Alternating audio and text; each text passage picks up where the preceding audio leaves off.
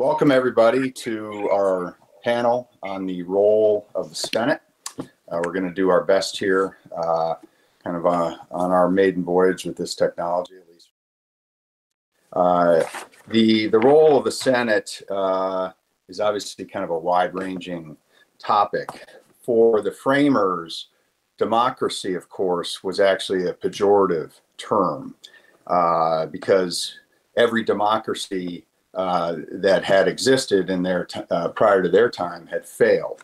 So the Senate is part of what made uh, the Constitution a Republican document rather than a Democratic one, and it allows smaller uh, uh, states and citizens in smaller states to have a voice in the decisions of the national government rather than having those decisions made by representatives only of larger states.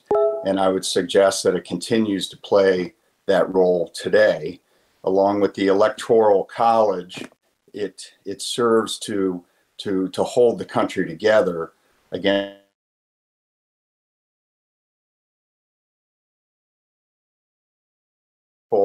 in the United States felt that they really had no voice in the national government.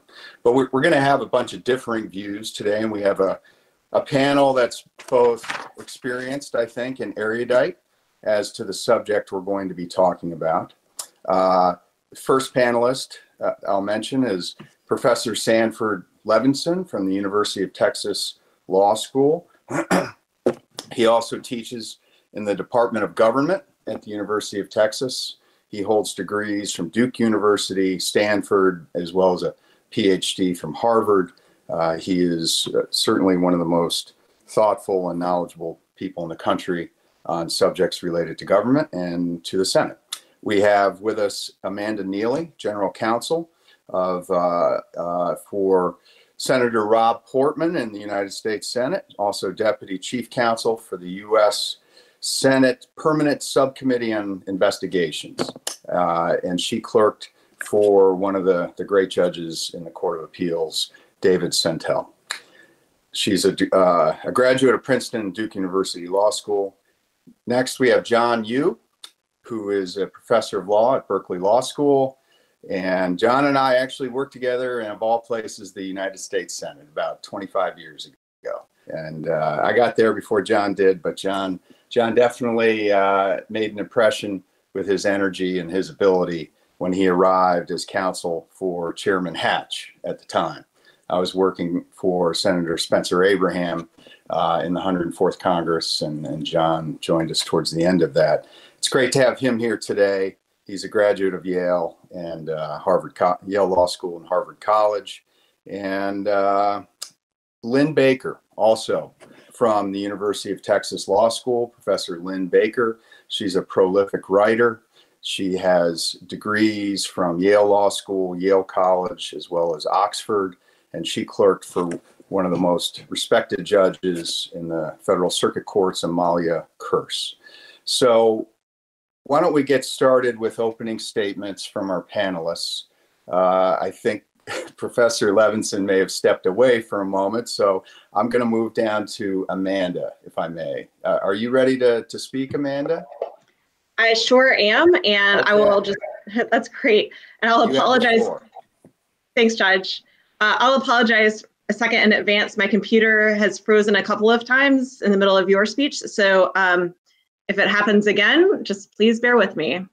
Um, so uh, thank you to to the Federalist Society for hosting this and forging ahead, even though we've had some technical difficulties and I'm having some technical difficulties right this second. I um, I'm so sorry. I don't know what's going on here with my computer. If you guys can just give me two seconds to try to fix the problem that I'm having right now. Sure. Uh, I'm so sorry. Um, things seem to be kind of coming in and out here. Okay, I'll um, tell, you, I'll tell you what. Why don't we go to Professor Levinson while you work on that? Well, okay. if, sure. Thank you. I'm, I'm right. sorry. Things just seem a little yeah, you're frozen. Off the hook. You're off the hook for now. Oh, actually, you know what? If it's working again, and my remarks sort of are an opening statement for this whole panel. So let me see if I can all right, proceed, all if that's right, okay. Another try. Thanks, Judge. Okay, so thank you to the Federal Society for organizing the symposium and forging ahead with the online format, and especially to the University of Michigan Law School student chapter. You guys have done a great job organizing everything, particularly with all the changes. And Judge, thank you for that kind introduction. Before I begin remarks, I'll offer the standard government caveat. The opinions I share do not necessarily reflect those of Senator Portman or the Senate. As the opening act on this panel, I'd like to offer some context for our discussion of the proper role of the Senate and our modern democracy. And given that this is a law student conference and your focus has likely been on torts or contracts lately, it might be reasonable for you to ask, why are we even having this discussion? And if that's you, you have been missing a hot debate. It's a debate that started during the Constitutional Convention. And with today's polarization in the Congress, it has picked up some steam. On one hand, some people argue that the Senate should be abolished. And if not abolished, it should become a wholly majoritarian institution with proportional representation of state populations, just like the House. That was the anti federalist position back in the day. Others argue that we need to repeal the Seventh Amendment and return to state legislatures, choosing senators to give state government a stronger voice in Washington. On its face, this is a debate about the structure of the Senate. But more deeply, it's about the very nature of our government. It's about whether we want an entirely majoritarian, winner takes all government, or a government that values and protects minority viewpoints. And I'd like to offer some of the history underpinning these arguments to give a framework for the ensuing discussion that I know our um, academic panelists here are going to, um, to delve into. As I hope all of you know, our system is a federalist system. Our nation was birthed by people who have been oppressed by a strong central government in their homelands. They came to the New World for the express purpose of removing that central authority from their lives so they could exercise their God given individual liberties. In the wake of the Revolutionary War, the country had a surge of national feeling and is a pragmatic realization that the states needed a stronger national government to represent them abroad. And that led to the ratification of the Constitution on June 21st, 1788. Although the new federal government was stronger than the previous version under the Articles of Confederation, it was replete with points of friction designed to protect individual liberty and prevent the majority from running roughshod over the minority. In particular, on the federal level, the legislative, executive, and judicial branches were all meant to check each other. And then there's the federalist system, whereby both the federal and state governments had their own authorities within the same system. Article 1 of that new constitution created the legislative branch in two parts the House and the Senate. The House would be composed of members elected directly by the people of their states every two years and members would be apportioned among the states based on population. The Senate would be comprised of two senators from each state, chosen every six years by the state legislatures. In Federalist 62, Madison praised state legislature selection of senators. He said that giving state legislatures the power to choose senators provided a double advantage, both favoring a select appointment and of giving the state governments such an agency in the formation of the federal government as must secure the authority of the former. And the framers clearly believed that equal representation of the Senate was critical to the structure of our government. They took pains to ensure that it would be nearly impossible to change states' equality of representation. Article 5 of the Constitution states no state without its consent shall be deprived of its equal suffrage in the Senate. And I imagine it would be difficult to convince most smaller states to voluntarily give up their equal voting power. And that was the system that remained in place for the next 125 years. In 1913, two constitutional amendments significantly changed the structure of both the federal government and the Senate. The 16th Amendment provided that Congress could collect income taxes without apportionment among the states. Previously, Article 1 required apportionment, meaning that each state, regardless of how poor or rich the state was or the size of its population, would have to pay the same proportion of a direct tax as every other state. As you might imagine, that would not be particularly popular in poor or less populated states. Effectively, that severely limited tax collection by the federal government. And as we all know, money means power. Without a significant source of revenue, the federal government's power was limited. But in 1913, Congress was able, under the 16th Amendment, to begin collecting income tax. That was an enormous expansion of Congress's power. And as we can see today by the amount of policy measures implemented through tax policy and the amount of direct spending. And that new source of funds helped fuel the rise of the bureaucracy that we have today. A few months later, the 17th Amendment was ratified. And the 17th Amendment provided for the direct election of senators by state populations rather than the appointment of state legislatures. And that change was driven by several concerns about state legislative appointment. State legislators frequently would reach an impasse in appointing senators, so seats would remain vacant for a, a length of time. And then money was flowing into state level races, not necessarily because of interest in the state legislators themselves, but about who they would appoint to the Senate. Um, the state legislative elections largely became focused on that one issue. And uh, you can see a parallel actually between um, uh, last presidential cycle when then candidate Trump provided a list of potential Supreme Court justices as part of his campaign to sway the electorate. Um, so those two amendments effectively created the Congress that we have today. And that brings me to the role the Senate plays in both the federal system and with in relation to the state governments. A Virginia delegate to the Constitutional Convention, Edmund Randolph, said that the Senate was meant to restrain, if possible, the fury of democracy. And that's what it does, sometimes a little too well. In the federal government, the House is a majoritarian body. There, the majority always wins the minority has very few rights or an ability to influence the proceedings. The Senate, on the other hand, is entirely focused on the minority. Under the Senate rules and customs, one senator can delay and sometimes prevent the whole body from taking action. In relation to the states, while the House represents the people as originally conceived, the Senate gave voice to the state governments. And even after the 17th Amendment, the Senate still represents the states. Senators represent entire states, which should act as a moderating force because the whole population is electing them. It's a bigger voting pool. And importantly, those state lines can't be gerrymandered like congressional districts. And it is still a body where all states are equal, they all have two votes.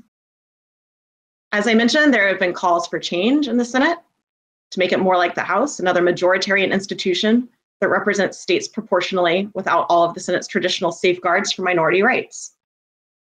And although I, though I do believe we need to thoughtfully consider potentially reforms to features that enable obstruction instead of thoughtful debate, eliminating protection of minority views in the Senate would be a dangerous course.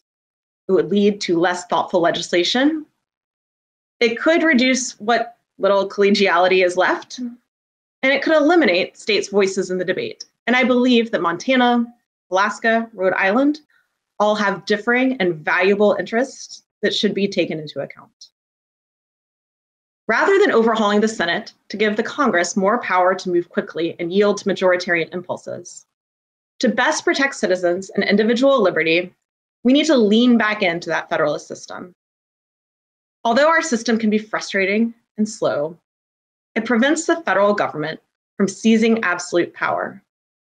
An entirely majoritarian Congress, combined with a president of the same party, would be unchecked. So, contrary to yielding to those majoritarian impulses, I argue that Congress should act as a stronger check on the executive branch and take back its power from the regulatory agencies so that laws truly reflect the will of the people elected through, through elected officials and then Congress should yield back much of the authority it has assumed over the years back to the state governments, which are more capable of seeing and acting upon the needs and desires of their own citizens. The more we push power to the states, as the framers intended, the less heated Washington will be. And perhaps Congress would be able to turn its attention to doing fewer things, but doing the big things well, Both of those features of a healthy federalist system would improve the common good and better protect individual liberty. Thanks. Thank you, Amanda, for those very thoughtful uh, uh, remarks, which were indeed very well suited to the uh, beginning of our discussion. Uh, Professor Levinson, I'll turn it over to you with uh, with uh, the sense that you may disagree with some of those things.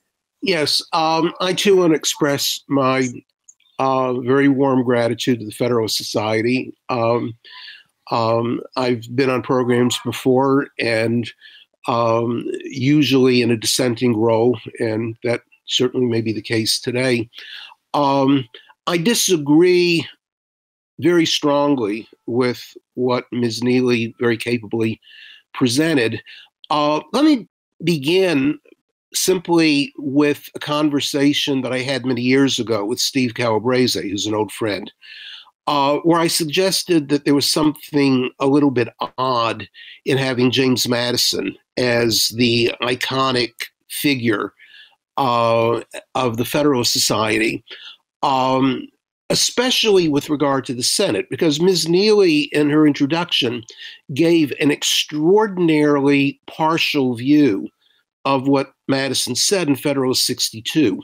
It's true he defended the Senate, and actually, I would not abolish the Senate. I think this country is way too large to be governed by a singular uh, House. Indeed, I think Texas is too large to be governed by a singular house. Um, I don't think that's the case with Nebraska and those states that are smaller, say, than New Zealand, which does just fine with a unicameral legislature.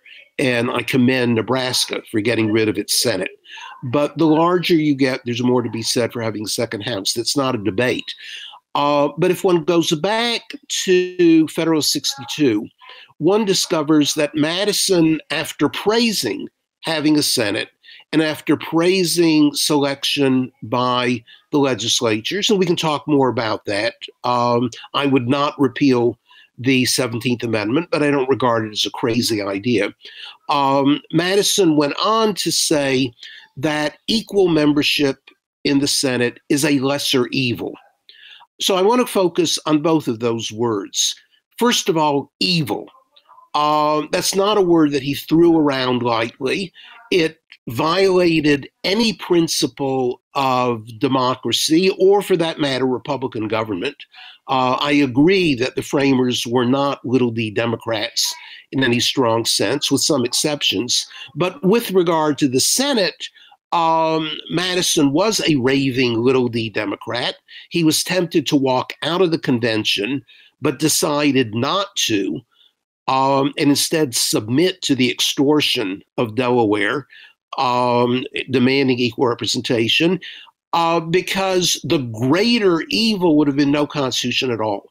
So, morally or theoretically, the principle of equal representation in the Senate for Madison was the equivalent of those people who opposed slavery and there were a number of anti slavery people in Philadelphia who swallowed hard and said the only way to get a constitution is to make compromises with slave owners.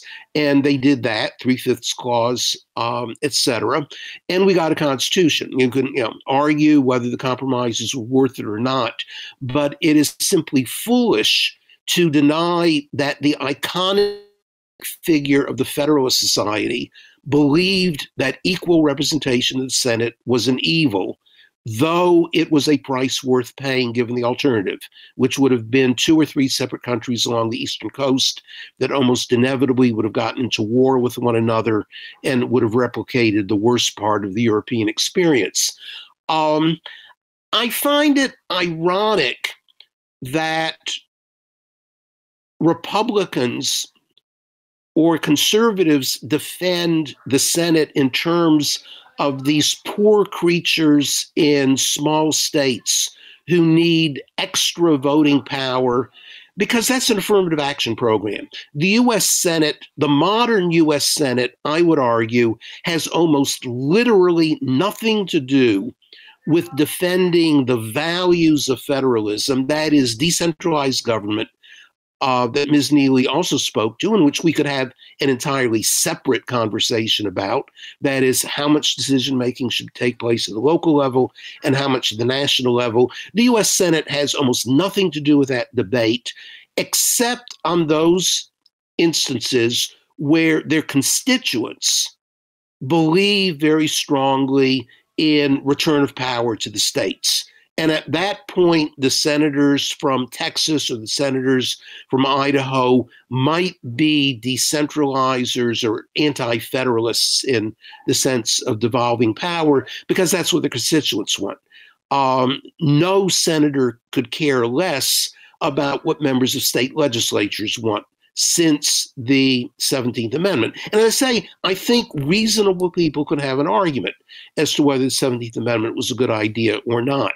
But once we have the 17th Amendment, what the principle of equal representation does is to serve as this gigantic affirmative action program for people who happen to live in Idaho, Montana, etc. And you know, I tend to support affirmative action programs as they're commonly defined.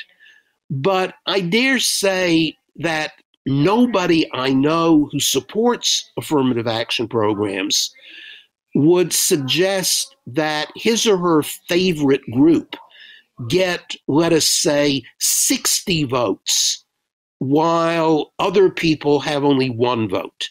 Um, I'm thinking right now of Wyoming compared to California.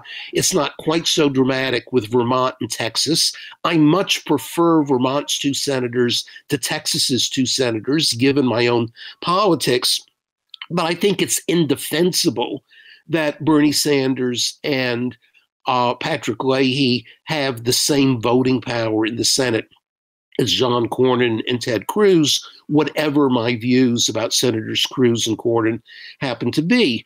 So, if you're going to defend the idea that these poor creatures who live in small states deserve tons of extra voting power, then let's talk about other affirmative action controversies and how much additional weight on the thumb, and not merely tie breaking rules in admitting people to colleges or hiring people uh, to universities and the like, but actually voting power, which really does count.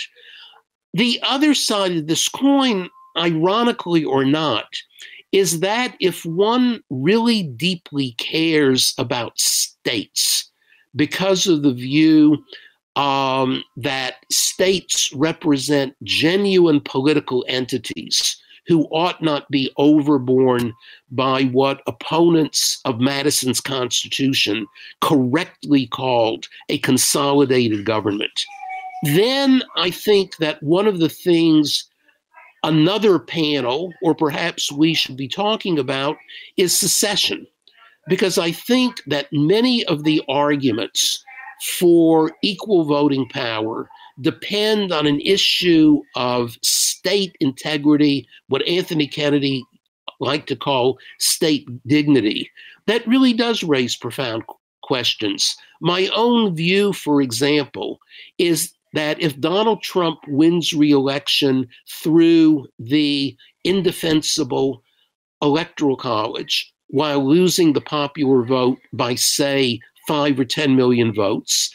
And if the US Senate remains Republican um, by, say, one vote with a minority of the national vote, um, uh, and under what for me would be the worst case scenario, that the House unpredictably returns Republican because of gerrymandering in my home state of North Carolina or elsewhere, then I would think that John Yoo's home state of California, which I identify increasingly as part of Pacifica, might think quite seriously about why stay around in the Union.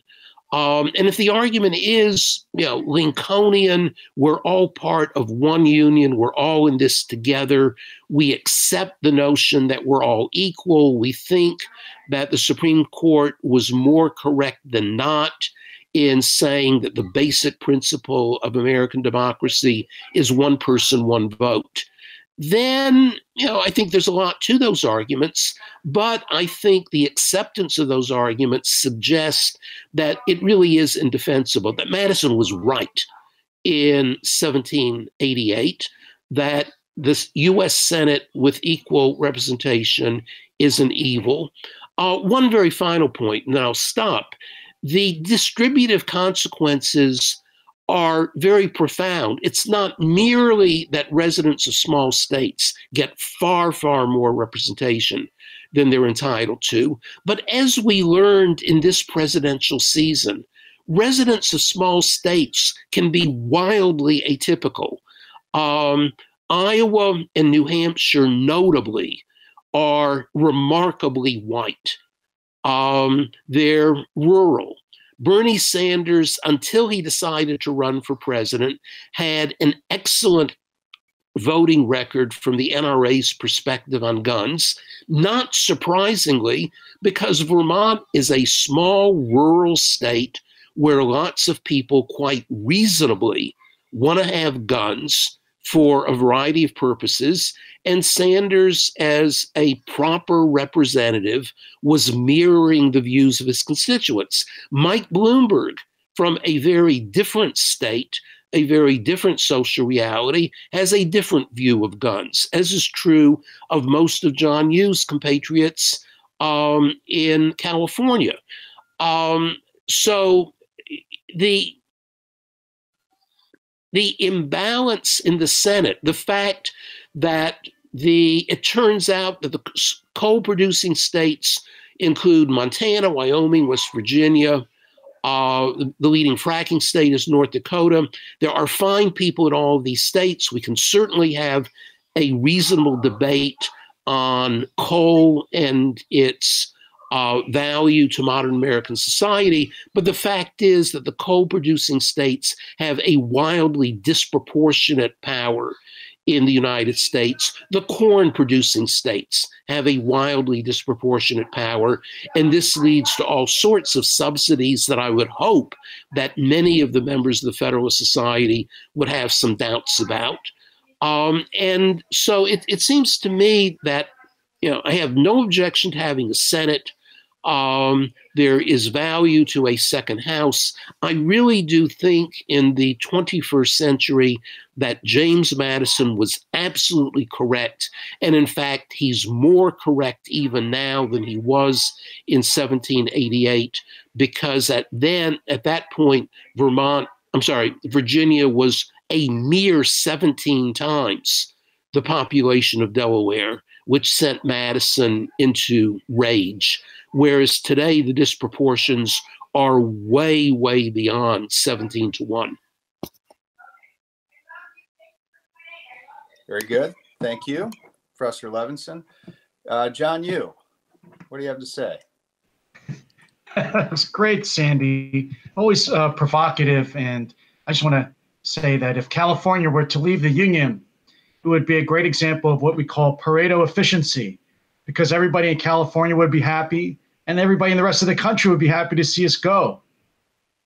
But seriously, I, I want to thank uh, the Federal Society for uh, inviting me. It's been, uh, I have to say, I went to my first Federal Society convention as a student in 1991. Uh, and so this is uh, coming up on my, uh, gosh, 20th Federal Society convention. And this has got to be the most unusual one, even more so than the uh, great uh, winter storm that was in 1993, which I remember almost shut down the symposium, and the great, uh, I think there was another one during a hurricane once in Washington. So uh, I'm glad to see that the federal side is pushing forward, even in the face of a corona, a biological warfare by a virus, to go ahead and still have the convention. And I really thank the uh, students at the University of Michigan, although I'm sorry I'm going to miss my chance to probably one and only chance ever to uh, sit in the University of Michigan football stadium because I'm sure the Cal football team will never make an appearance in that stadium. And I'd like to thank my uh, co-panelists, of course, uh, Judge Kethledge, who, yeah, he he does remind us of how old we are by uh, referring to the time we were both young Senate staffers uh, back in the day, and uh, it was really great to work with him then. It's great to see him as a distinguished appellate judge now. And uh, great to see uh, Amanda, who I've been on several panels with now, uh, representing the Senate. And I have to say, uh, Sandy and Lynn, it's a great pleasure because uh, when I was a, young scholar, and I wrote one of my earliest pieces on the role of the Senate and judicial review, and both of their works were uh, you know, very, very provocative for then during the beginning of the federalism revolution on the Supreme Court. And I learned a lot from them, and I'm looking forward to exchanging, continuing exchange views with them now. So I just have uh, a few points uh, to add uh, to Amanda's and then maybe respond a little bit to Sandy. Um, I think uh, Sandy's point is about whether, is about how many votes states should get. I don't see him seriously criticizing the idea of having an upper house of the legislature that does not represent the, the majority.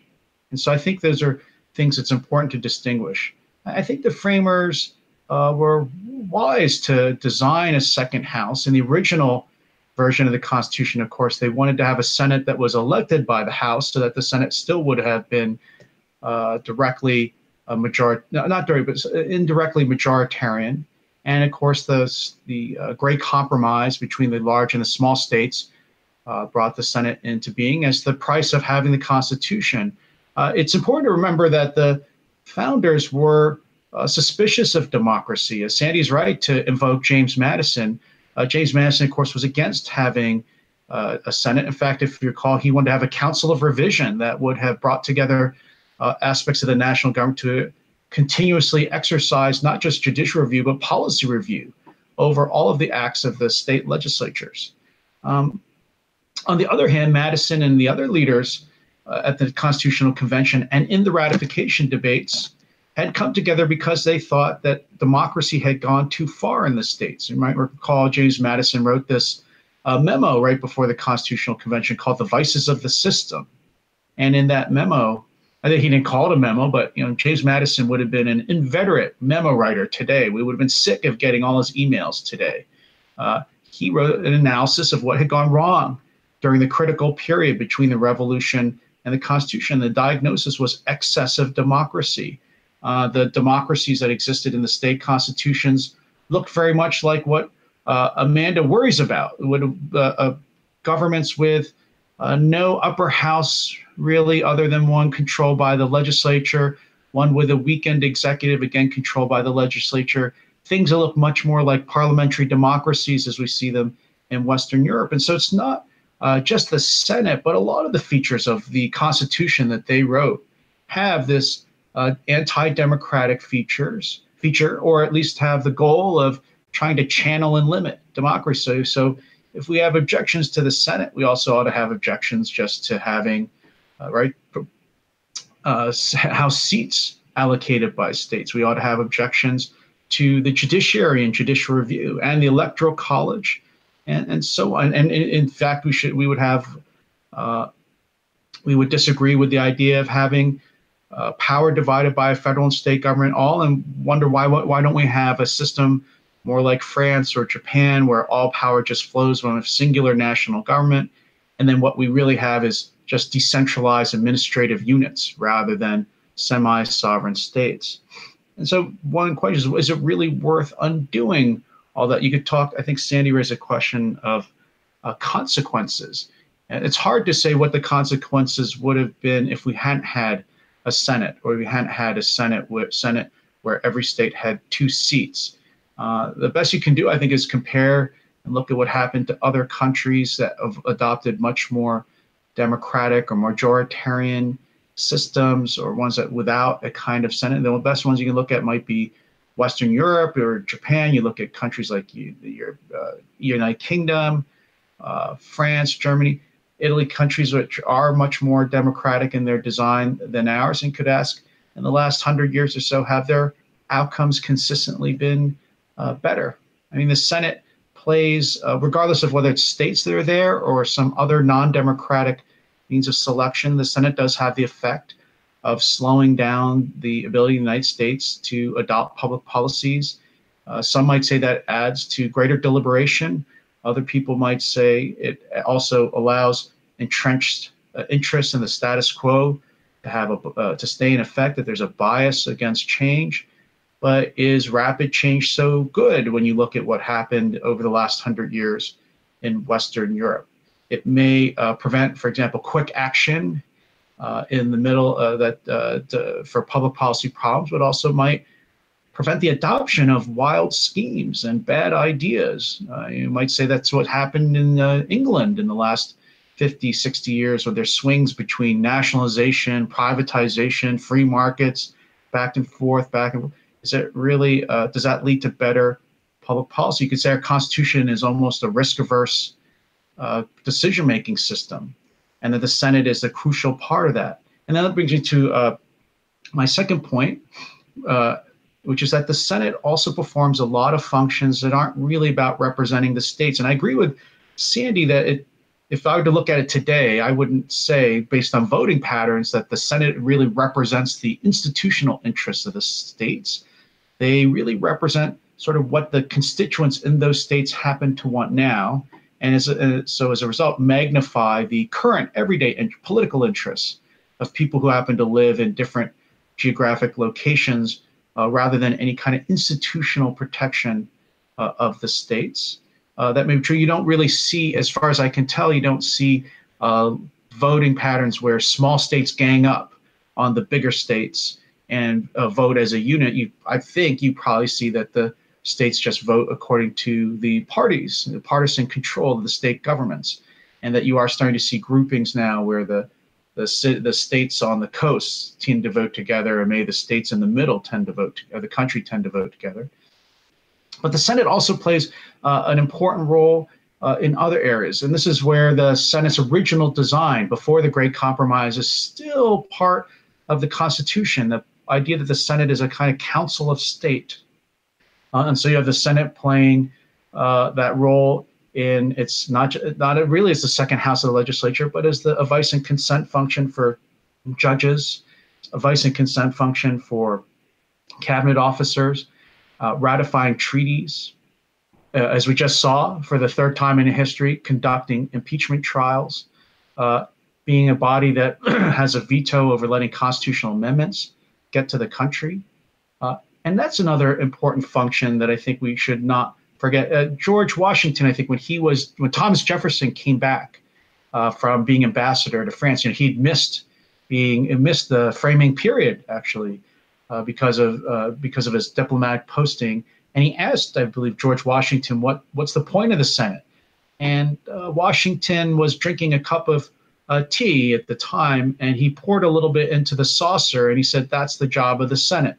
It takes the hot tea of democracy, and he called it democracy. It takes a hot tea and allows it to cool a little bit before we drink it. And I think the Senate plays that role in many areas throughout our government. It's a, it's not a mistake, I think, that the Senate is involved in every major decision that our government makes, uh, in distinction to the House, which does not participate in the executive functions of the Senate. Uh, that it's there to slow down, cool things, hopefully lead to more deliberation and compromise.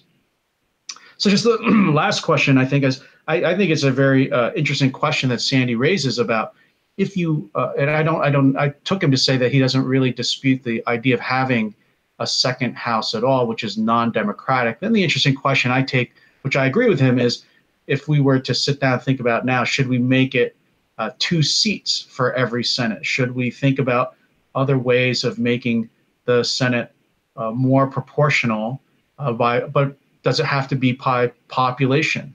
Uh, there are, I mean, I wouldn't favor going this route, but there are other countries I think that have upper houses where uh, distinguished citizens. I think this is what they do in Italy. Uh, I think like if you're a distinguished writer, you can be made a senator for life in Italy. I, gotta say, Italy is not the government I'd be copying right now for many, many reasons. But you know, if you're going to open it up, you could say, well, does it have to be states? Could you have different interests represented in a second house, which is similar to what uh, constitutions in new countries have? Or uh, so, if you want, I I tend to think these wouldn't be great ideas, but I think it's an interesting question to pursue. In addition to should each state itself have two votes? And let me end with this. Um, one thing we should be cautious of, though, is that our instinct to reopen that debate and this why voting disparities that Sandy mentions are right, the products of sociological change. And we, I gotta ask whether it makes sense to change the Constitution based on where democratic demographic patterns happen to be right now. So of course, right now we have people concentrating in the cities. Uh, those cities tend to be on the coasts or in the middle of the, in the along the Mississippi River, for example, or Texas, uh, and so that produces that disparity. That may not be the way things are 20 or 30 years from now. After this uh, coronavirus, maybe people won't want to live in crowded cities much longer. Might you might see a remigration out to farming. We're all going to start participating on Google Meets or I'm teaching class on Zoom. I have no idea where any of my students are, which is probably for their own good. And they don't have to look at me anymore, which is probably for their own good. Might, if we have a more decentralized economy, we might have more decentralized social power. Would have made sense to have rejiggered our constitution because for, at one time in our history, we had urbanization and concentration of population in some cities. Maybe it makes sense to leave the constitution as it is because once you start to remove some of the sticks that hold the house together, you're, we can't tell the consequences of what other structures it might undermine. So thank you again, uh, Judge, and thank you uh, to Federal Society and my fellow panelists for this uh, uh this uh, this really innovative and new way to have a conference. I hope uh, I hope it all works out, and I look forward to everyone else's comments. I'm going to try to, yes, I'm going to mute myself now, which is something a lot of my colleagues have always wished I would. That button could be pressed. All right. Uh, thank you, John, for those very thoughtful remarks. Uh, let's hear from Professor Baker. Well, thank you, Judge, and uh, I'm delighted to be here. Uh, thank you again. I echo the thanks of my panelists uh, with regard to the Federalist Society and their heroic efforts uh, to proceed, notwithstanding current conditions. Um, I'm delighted to get to meet Amanda, so to say. Um, Sandy's a dear friend, and uh, it's always entertaining to me when we go all the way to Michigan, or in this case, not, uh, to be on the same panel. Um, Sandy and our colleagues at Texas, and I have to say, Sandy, uh, particularly uh, when he disagrees with colleagues, is unusually open minded and warm and generous. And it's been a great treat for me to have a colleague uh, at Texas um, and, and John is, is one of the uh, pillars of, of, of, the organization and, and a very important figure. Um, I do want to pick up uh, where John left off. He was kind enough to mention, uh, as if to underscore the age difference between him and me, that when he was starting out, he, I'm teasing you, John, that when he was starting out, uh, he was very interested to read uh, work that Sandy and I had both already done on the Senate. And to give you a sense of where I'm headed, that very first article I published about this back in 1997 was titled "The Senate: colon An Institution Whose Time Has Gone?" question mark. And um, I'm going to be siding largely with Sandy. I don't know if I would term the Senate evil. Um, I would term it deeply problematic today. And indeed, problematic um, while sharing many of the uh, policy goals that um, Amanda put forward. Um, I do think uh, it's very important uh, to have some protection for minority viewpoints. A lot of my scholarship has been devoted to um, uh, being pro uh, state sovereignty. I teach state and local government law. I'm a big fan of, of state government. Yet somehow she and I end up in different places. With regard to the Senate, um, I might be cynical and say she's employed by the Senate, and I am not. But uh, I won't. I won't go there, despite being a, a public choice kind of person. So um, from the very beginning of our constitutional democracy, uh, we are all aware that the Senate has held an exalted place. My preceding panelists have noted uh, Article 5, for example, the apportionment of representation in the Senate uh, is the only provision uh, among our current uh, Constitution's dictates that cannot be amended pursuant to the ordinary procedures of Article 5. We've heard from Sandy and Amanda and John bits and pieces of why this was such an important part of getting the country off the ground, so to speak. And I'm not here to dispute any of that.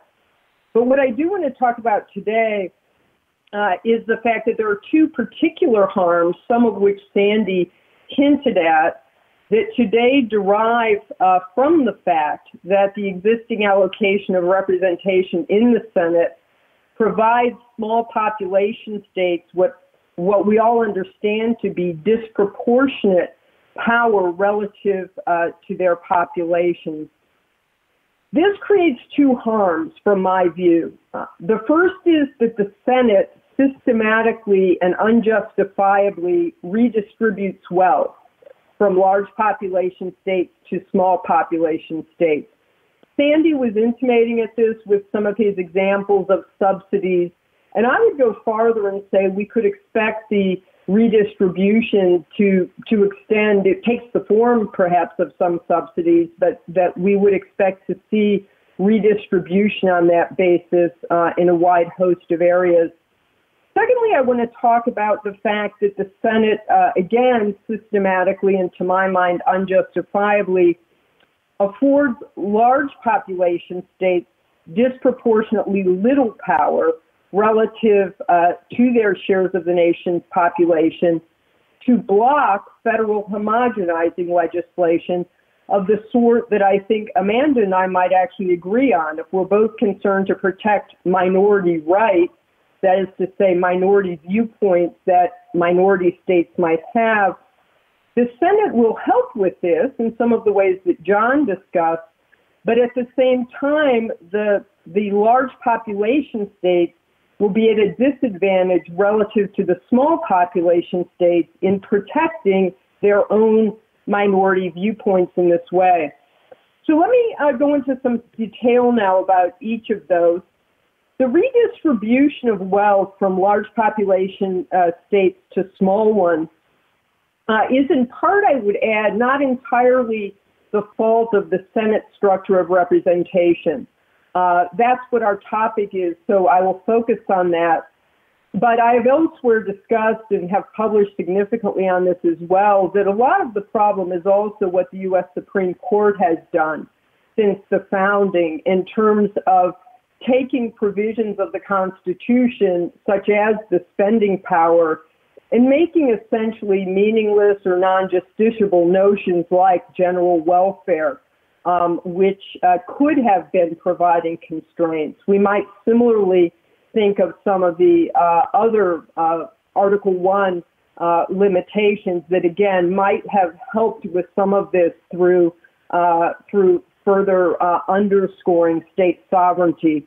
But we are where we are, and the Supreme Court has played the role that it has, and we're here to discuss the Senate. So that disproportionate power that the Senate gives small population states, it's not going to affect the total dollar amount of what I will call pork barrel spending. Um, we can just call it spending. I'll call it pork barrel spending that's enacted.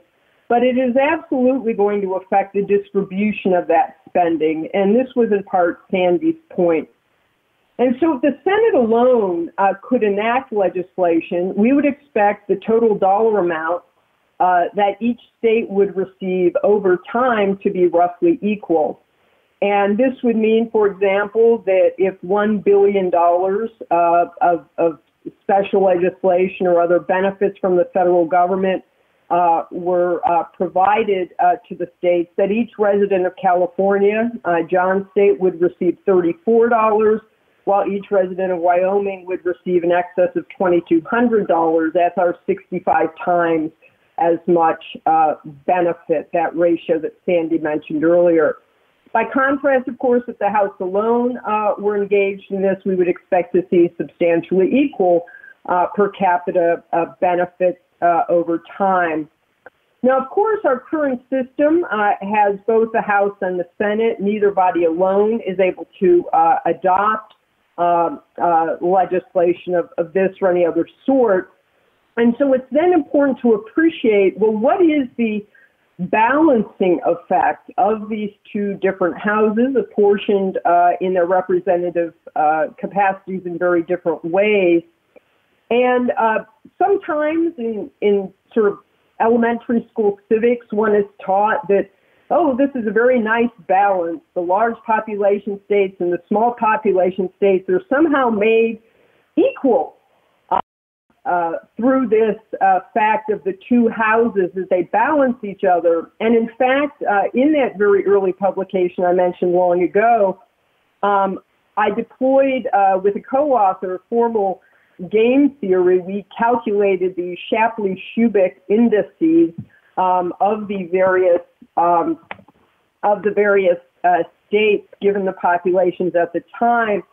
And here's the math of how the balancing actually works out. So let's look at California and Rhode Island.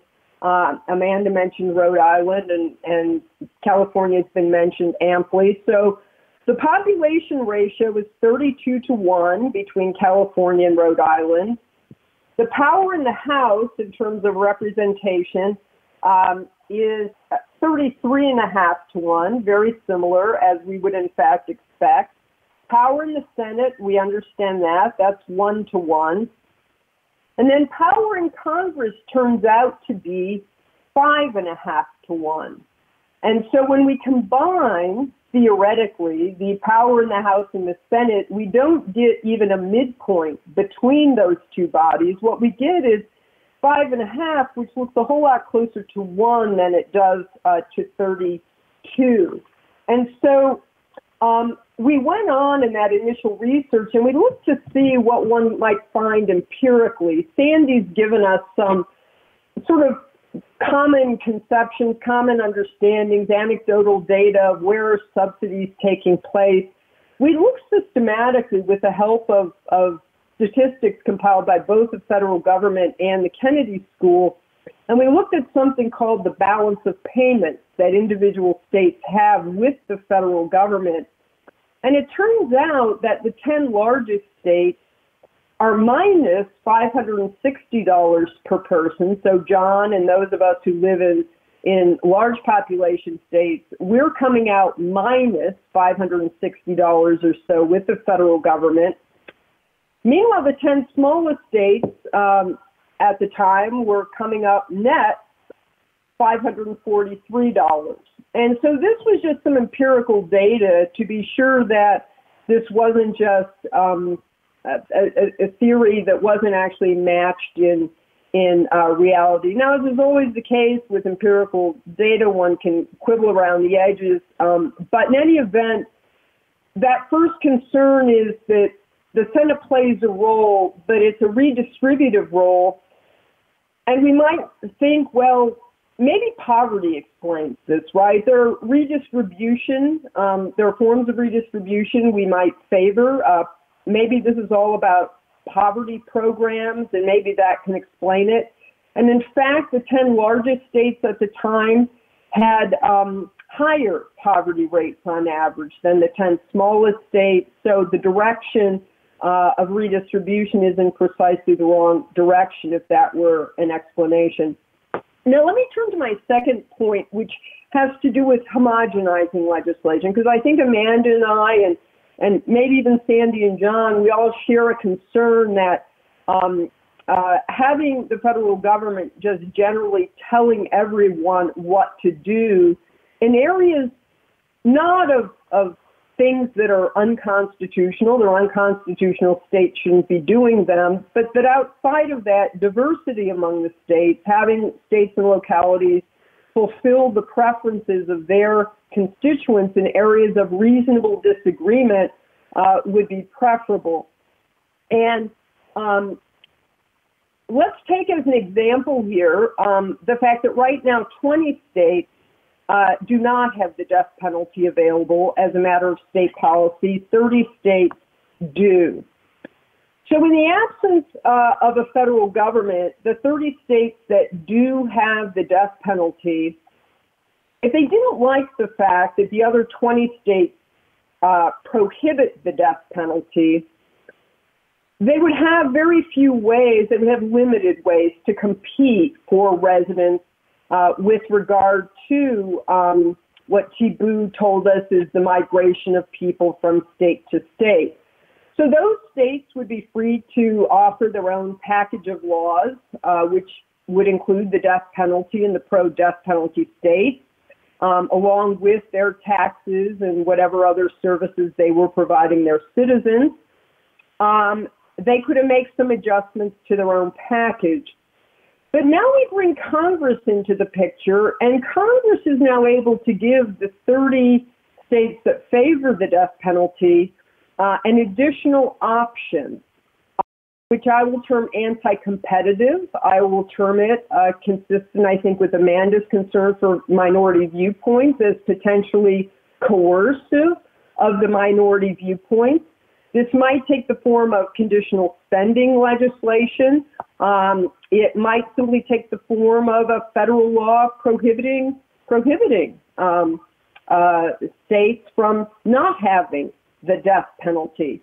And so I'm going to simply term this federal homogenizing uh, legislation, which is going to uh, reduce the diversity uh, in the states and uh, would therefore arguably be uh, disfavored. Now, at this point, John or Amanda might say, but isn't one of the roles of the Senate that it in fact makes it more difficult Congress uh, to pass laws? And so, to the extent you're concerned about this, isn't the Senate actually uh, to be favored? And my response here would be well, the problem with that is that we're going to see certain homogenizing legislation able to be stopped more readily than others. And so, for example, the large population states will have relatively little ability to block, disproportionately little ability to block that federal homogenizing legislation. Uh, meanwhile, the small population states will have relatively more ability uh, in that particular regard. And so, for example, uh, the representatives of the nine largest states uh, represent fully 50% of the nation's population. Those nine states, if they did band together, would not be able to block federal homogenizing legislation that they thought was unattractive. Meanwhile, senators from the 26 smallest states which represent only 18% of the nation's population, would have a vastly uh, easier time blocking uh, that legislation. So, what can we do about this? Um, and I think it's fair to say, well, as, as theoretical improvements, I personally might want uh, the states, in fact, to be represented proportionally in the Senate. And so I'll disagree with both John and Sandy on this. I'd be fine to have two bodies, each of which were proportionally represented, wouldn't have to be the same size. I would also want, though, for one of those bodies, um, let's call it the Senate, uh, to also have a supermajority rule. Um, we like supermajority rules in certain parts of the Constitution. We've already mentioned impeachment, overriding presidential vetoes. All of those are two thirds rules.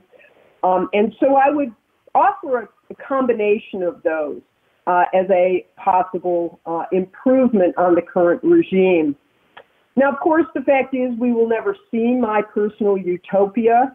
Article 5 uh, already been mentioned, requires the consent of a small population state in order to have its allocation of representation altered. I think it's fair to assume that no small population state is going to uh, be excited uh, or interested uh, to agree to any reduction in its power uh, within the Senate.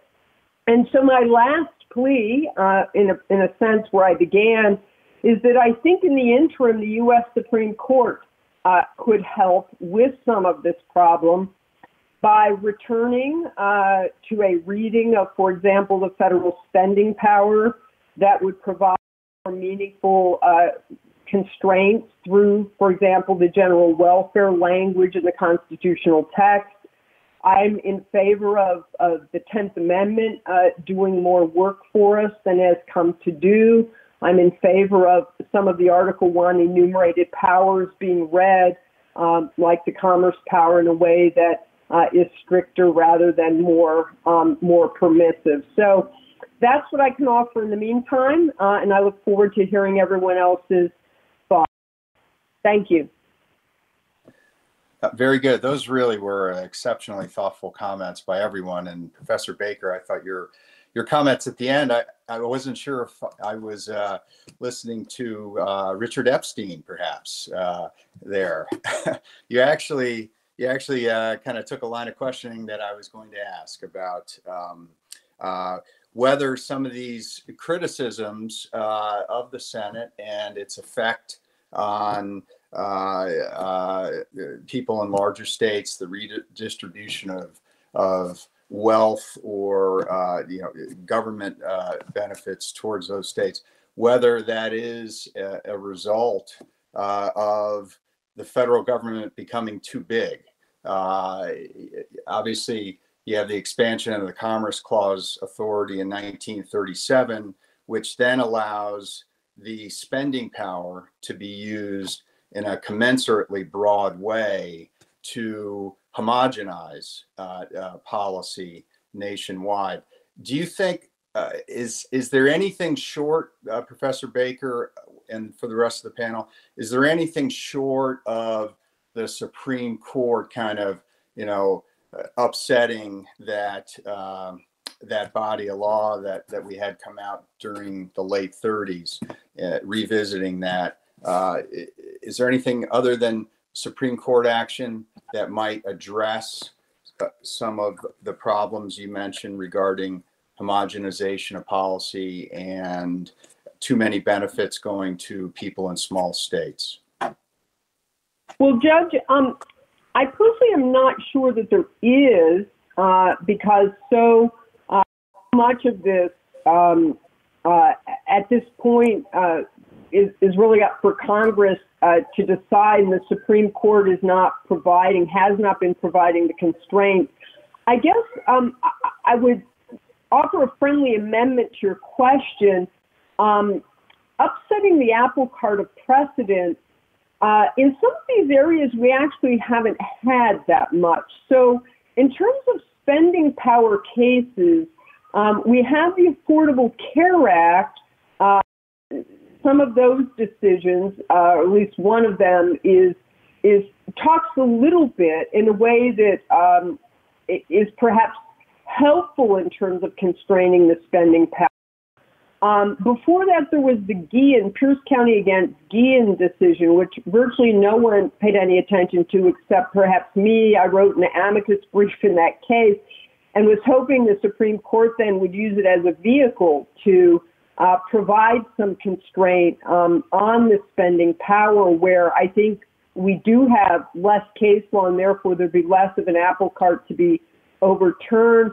I'm sad to say that the Supreme Court unanimously disagreed uh, with my my amicus brief uh, on that. Uh, they were very oh, they were fine with that particular uh, deployment of, of indeed what they termed to be simply the commerce power. They didn't even reach the spending power question. So um, I would actually push this um, for the court. I think the court is our last hope, and I would I would push in the direction of more attention being paid to the spending power because I think there's there's less law there that would need to be I will call it judge, not necessarily overturned. Very good. Anybody else on that subject? Uh, can we use the, uh, the the spending clause? Can we can we change? Uh, or is there anything that we can do outside of Supreme Court uh, interpretation to address the the two problems that Professor Baker talked about?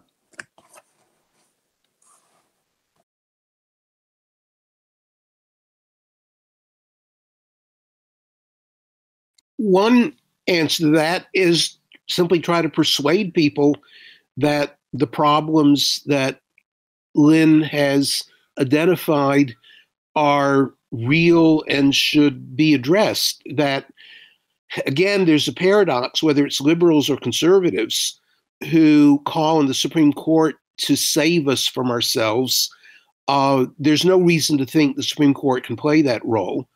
Um, it has not throughout history, except um, in very peculiar periods of lag and regime uh, transformations and the like. Um, I think the complaint is that for better, and I would admit for worse on occasion, consolidationists have by and large won the political debate um, to the degree that we don't have the cogent discussion that we ought to be having about what things should be carried on at the local level and what the national level.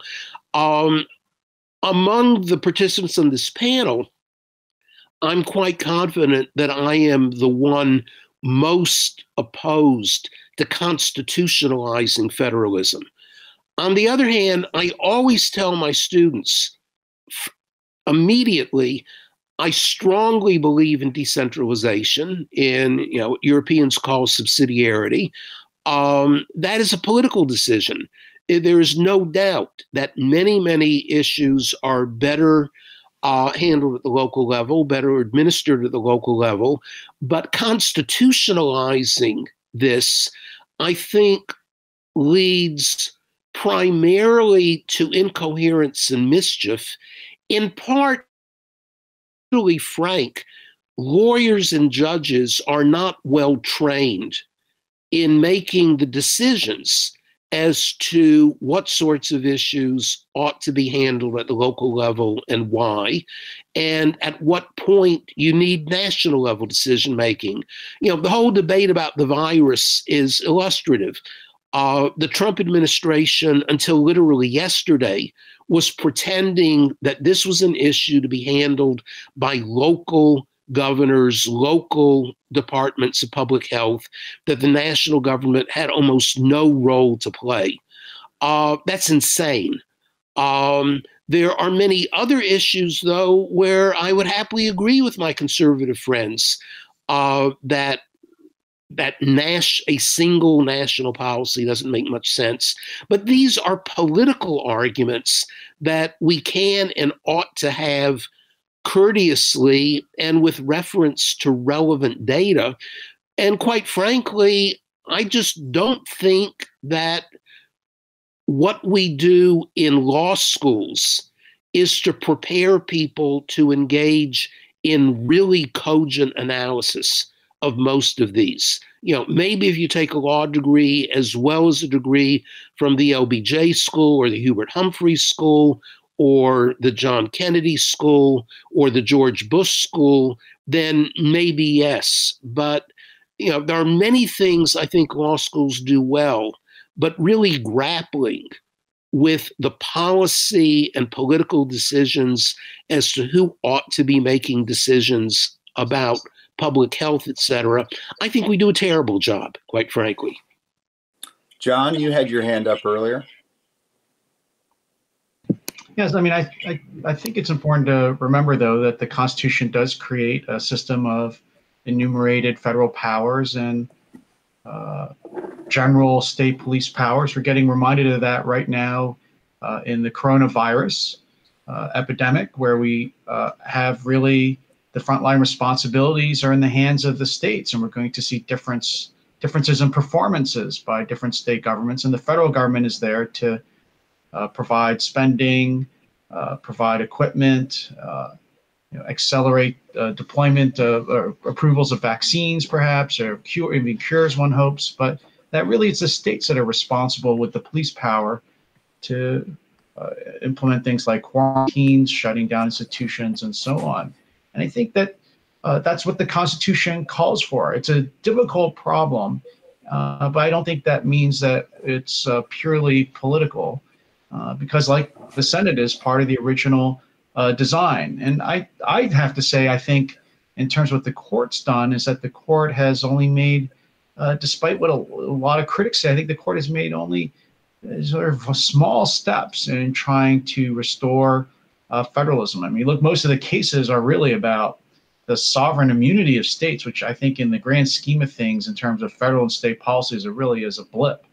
And uh, yes, Lopez and uh, Morrison remind us that there are limits on the Commerce Clause, but has the, has any really serious national legislation uh, been delayed by the Supreme Court because of federalism concerns, or even Obamacare. Yes, the court struck down some of it, but for the most part, it went forward despite constitutional uh, concerns about the federalism aspects of it. So I I think that there's a lot to do if the courts really wanted to restore some balance between the federal and state governments that would be uh, consistent with what the framers originally designed. That doesn't tell us the, which I think I, I read Sandy and Lynn to be raising is really what these are hard doctrinal questions, and it's just, but that doesn't mean because the doctrinal questions are hard that we shouldn't try to, you know, live up to the principles that are written to the Constitution. Uh, I don't think that you know, consider my colleague Jesse Choper once argued, he thought it was so hard that meant federalism itself was a political question. I actually kind read Sandy and sometimes Lynn to be coming closer to that, saying it's these are such hard doctrinal questions. They're so beyond the ability of judges to really fashion a line between what's federal and what's state that we should just let the Senate take care of it.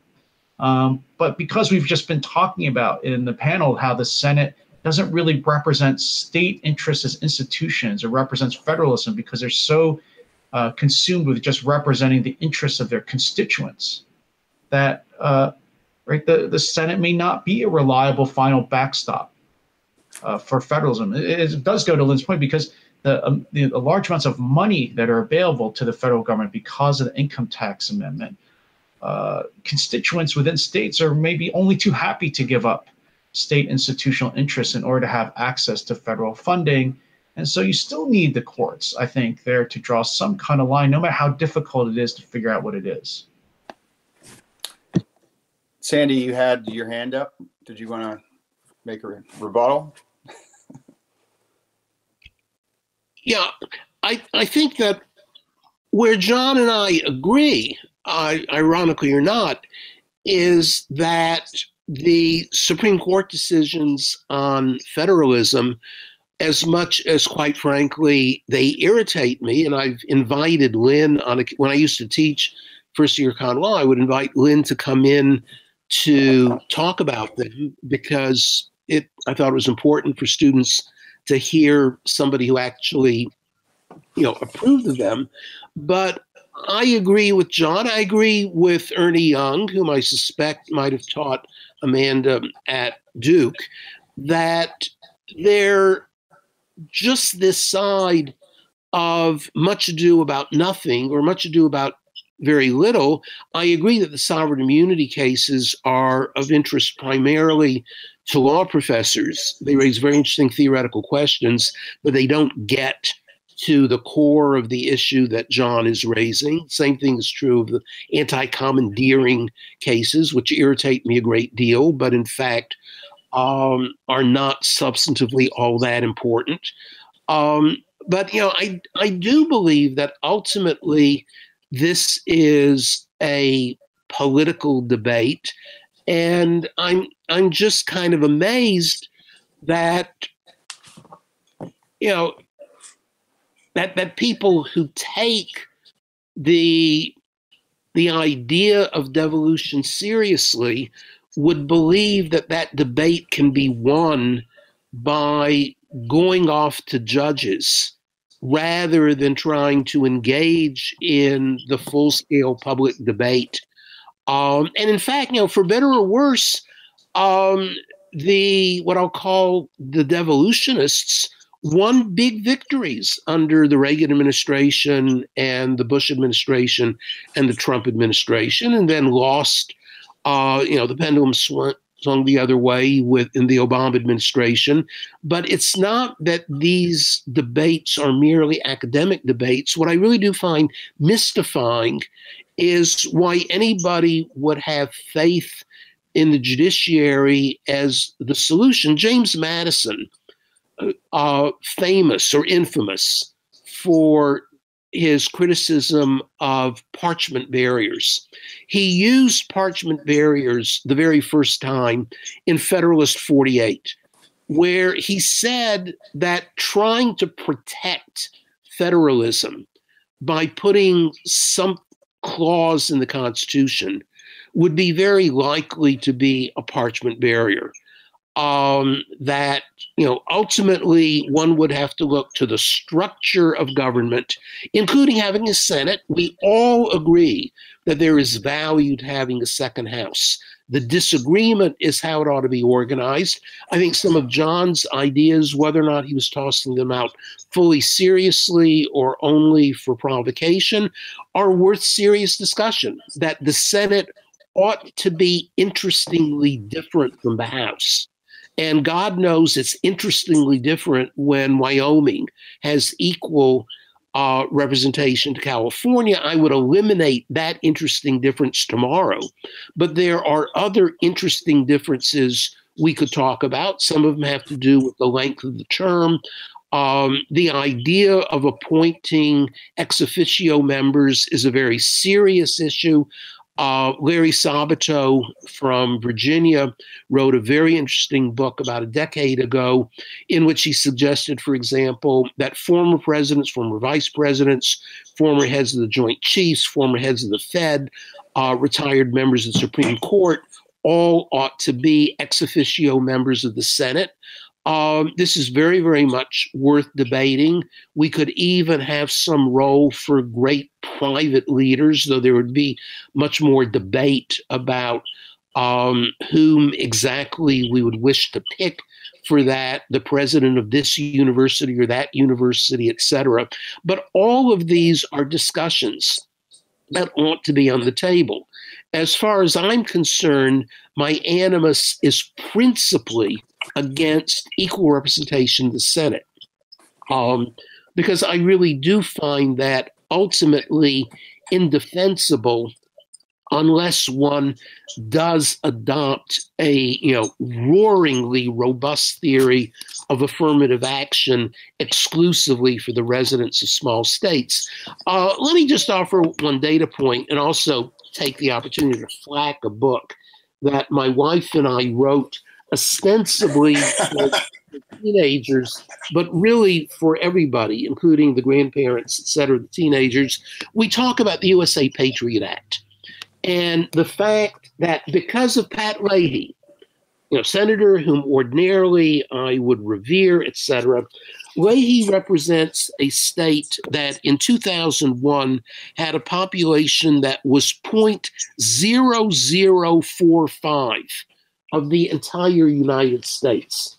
However, he was able to write into the Patriot Act the sta- a standard funding formula so that every state in the union, regardless of its population, got 0.75, at least 0.75 of the revenues, which meant that Wyoming got $61 per person and California got $14 a person.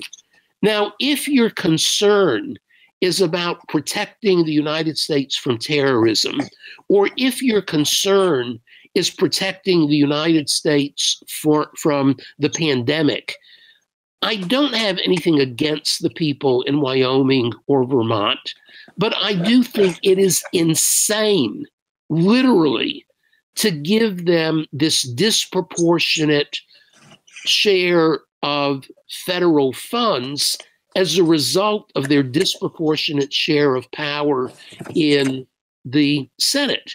Um, you know, there are other things we can talk about. If um, you know, I don't dislike farmers. There might be good reasons for farm subsidies and for taking money from my pocket and giving it to the good folks in Iowa. But with regard to the USA Patriot Act, it really does seem to me a knockdown argument of political insanity that is generated by an indefensible constitutional structure. Okay. Um, well, uh, Sandy and some others have referred to the judiciary's role in all this, so maybe I can offer a few comments myself. Um, as I listen to the criticisms, the specific criticisms about the Senate, I find myself wondering if if these problems have actually been quite magnified by progressive policies as opposed to adherence to the more classical liberal design of the framers. And and I wonder then if if we had a strong originalist majority on the Supreme Court, might that significantly address these very problems? The of course, the great homogenizer of national policy is the administrative state. The, administra- the administrative state does most of the legislating in this country uh, because of the Supreme Court's basically abandonment of the non delegation doctrine. Uh, the spending clause, the, the, the, the federal government is able to use that power, uh, as, as Professor Baker has, has very uh, ably described it, to, to, to coerce states to adopt policies they otherwise would not adopt. The expand the wildly expansive view of the Commerce Clause. It's not the uh, regulating the movement of goods as it was for the first 160 years of our history. Now it's the manufacturer and anything that affects the, the manufacturer that affects the economy. Uh, if the Supreme Court went back to a Schechter Poultry uh, uh, conception of congressional regulatory power and non delegation in that same case, uh, might that restrict congressional power in a way that lets states, that lets the more num- the greater population in California, the greater population in New York, they can they can uh, uh, decide for themselves uh, much more of the laws that they will have to live under, as opposed to having those visited upon them by the United States Senate uh, in part. So uh, I wonder, uh, and and while we're at it, you know, if we had a flat tax and wealthier states, which tend to be the more populous ones, uh, were not member, you know, citizens in wealthier states were not paying disproportionately high taxes. Query whether that too might address some of this uh, concern about uh, too much, uh, you know, it basically transfer payments from smaller states to bigger ones. So why don't we go back to originalism? Why don't we go back to uh, uh, classical liberalism? And maybe that, by shrinking the size of the federal government, would dramatically shrink these problems too.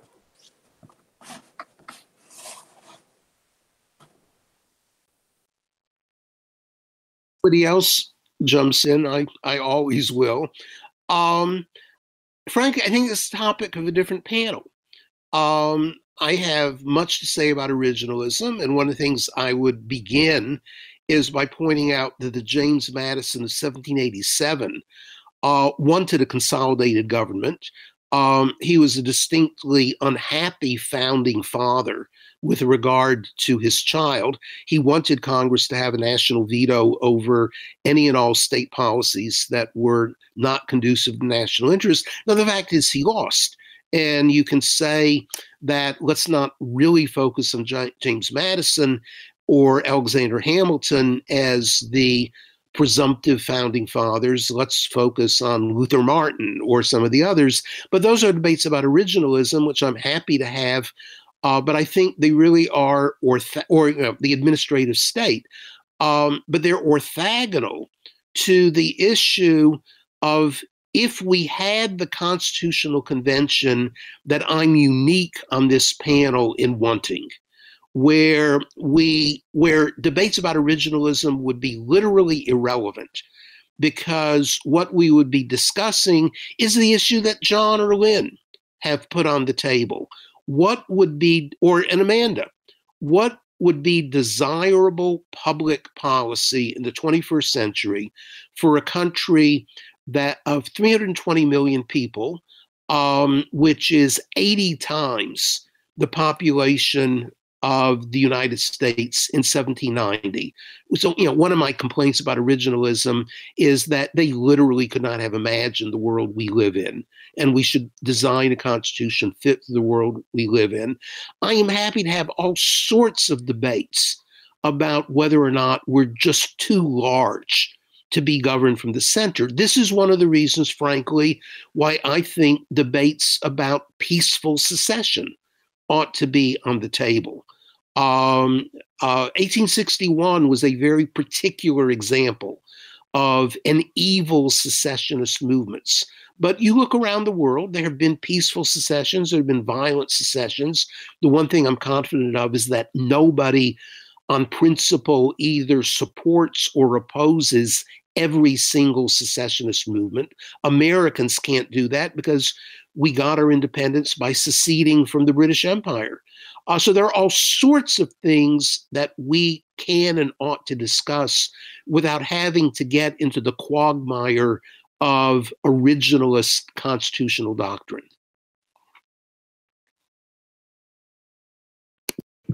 Judge, can I jump in? Yes, yes, sorry. Um, yeah, go ahead, John. Just I, I, I, have a maybe a different kind of reaction to your comments and Sandy's, which was I, I think that the it's interesting. We're talking about the Senate and the kind of change you're talking about, Judge. I would tend to agree with in the sense that the uh, original Constitution is rather Spartan and permits a fairly large number of arrangements and outcomes.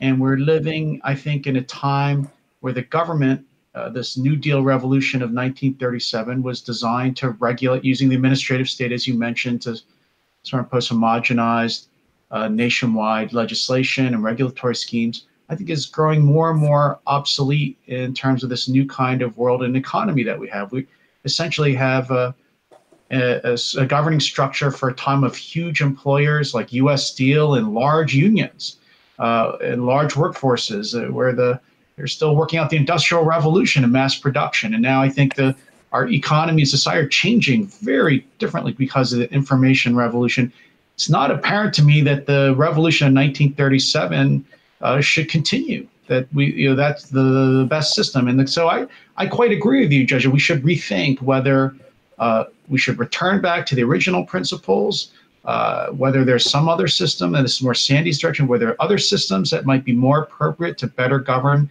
in this growing, this more increasingly decentralized economy and society. I, I just the, the interesting thing is uh, the Senate is going to be a roadblock to all of that, right? Because even though the Senate represents, uh, ideally, was supposed to represent the states, it really just does slow down deliberation and change. And so, to the extent we do want to change the government in whatever direction because it no longer fits the economy and society we have, the Senate's going to present, prevent that. It's going to the Senate just because it's so hard to overcome the filibuster over to get any legislation through the Senate. It would, if you wanted to dismantle the administrative state, for example, and return it more towards the classical liberal uh, government, or you want to go Sandy's route and have different forms of government.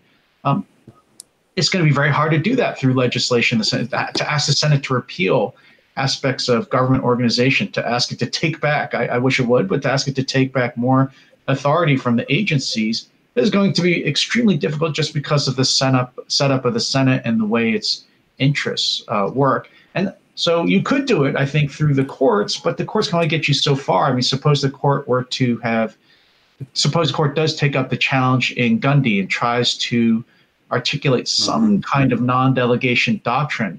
I still think the hard work, the nitty gritty of reorganizing the administrative state is still going to be up to Congress. The courts aren't going to do it for the Congress. It's really Congress.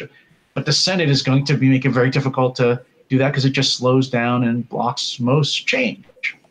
Uh, I'm going to make a brief comment, and Amanda hasn't had a chance to speak in a while, so I'm going to let her speak, and then and then Sandy.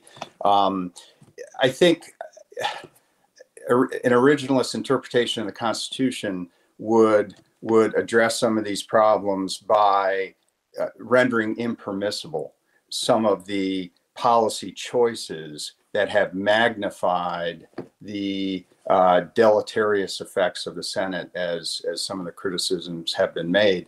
But we addressing those need not be a debate about originalism. We could have a debate about whether we want to approach a more classically liberal policy model as opposed to a progressive policy model um, and uh, and you know uh, there would be significant changes in these very problems if we did that. But anyway, um, Amanda, why don't you why don't you make your point? Uh, we'd be happy to hear from you. Thank you, Judge. Uh, I appreciate that. I, I tend to agree with your point that moving back toward an originalist court would alleviate some of these problems. But um, I don't think the courts can be responsible for fixing our entire system of government. It was meant to be the weakest branch of government. Um, so I'm not sure we should be relying on them to to save us from ourselves. Um, but to John's point, I think that um, the, the, Senate is a roadblock. I don't think we were meant to be, or the Senate was. Sorry, I'm not, I'm not a senator. Um, I don't think the Senate was meant to be uh, an institution that couldn't get anything done ever. I don't think that the filibuster was meant to completely limit um, progress. Um, and we've seen changes to the filibuster over time. And actually, I'll, I'll throw it back to John, Lynn, Sandy. Um, if you have any thoughts about how we should change the filibuster, or should it be changed? It's been changed over time. It went from 67 in the early 1900s to 60 to, to end debate um, during the civil rights era. Should we reduce that number? Should we have a ratchet system that goes um, down with the number of votes over a period of time? Do you get to a point where you might be able to pass legislation? Um, I'm I'm curious to know the other panelists' thoughts on that. I'm I'm still sort of developing my own thoughts on that.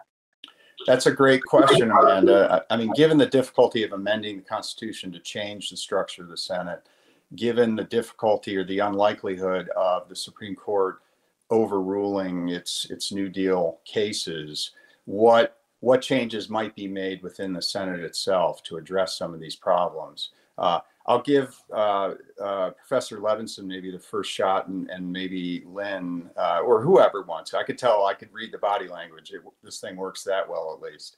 Uh, but Sandy, I, I, know you had some thoughts, and maybe you could tie them into to that question as well.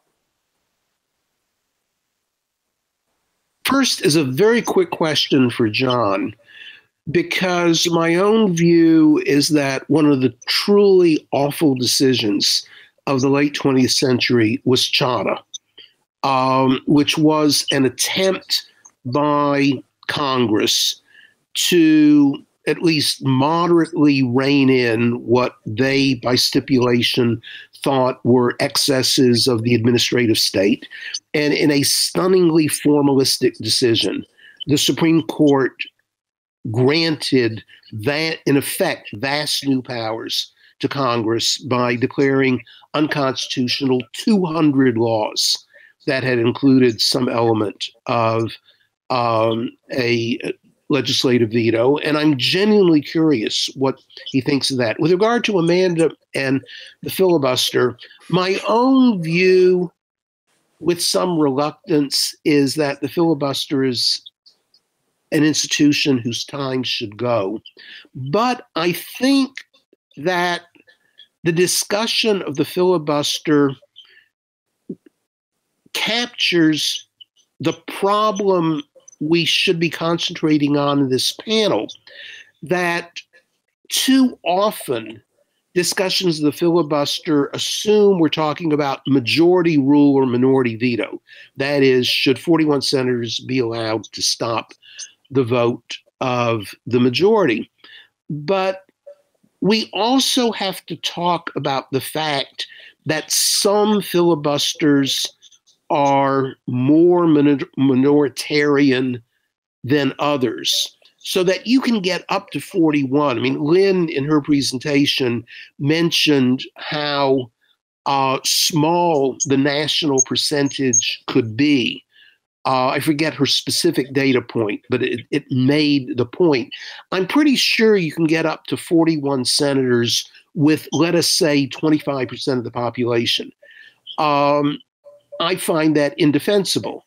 On the other hand, as Lynn mentioned, I think it was Lynn, we, we talk about this in our book, the fact that the nine states with a majority of the population have a grand total of 18 senators, they can't filibuster anything successfully if it were only the senators of those states. And so, what we really have to come back to is the extent to which the Senate overall should be sensitive to the majority preferences of the country, however much the Senate as an institution should differ in interesting ways from the House. But I do think that to focus only on the filibuster and not talk about who's doing the filibustering is a misleading conversation. Lynn? Lynn?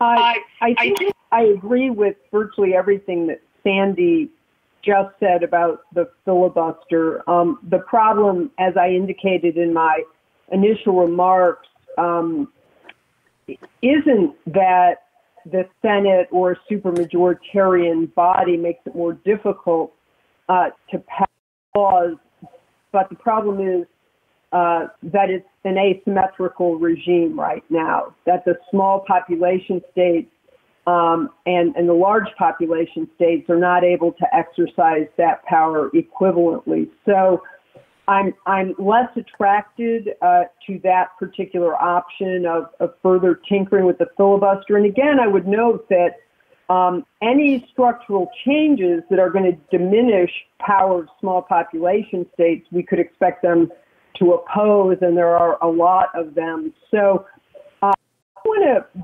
echo some of what John has reminded us uh, about the founding. Um, I like to tell my students that the original federal government was a nickel and dime operation, um, and, and it was intended to uh, be that way. And uh, we are so far from that now, as several of the panelists have noted, the the um, massive amounts of money that go through the federal government uh, just could not have been envisioned, I think, by the framers. And so part of the problem that we have, that the courts have, uh, as they interpret the Constitution by whatever lights they choose to do so, is that the the post New Deal uh, and and post federal income tax world in which we live is a is a wildly uh, different world. I would note one other aspect of all this, which is part of what made some of the original compromise less problematic, perhaps, to the framers than we now see its effects to be, some of us anyway, is that migration patterns couldn't have been predicted. And uh, migration patterns could have turned out either with most states having fairly equivalent populations or different states than we now have with different natural resources having disproportionately larger small populations. And so that's another aspect of this that for me makes a, a revert to a, a strict originalism uh, very problematic. So I'll go back to my favorite provision, which is the spending power. There's, there's language there.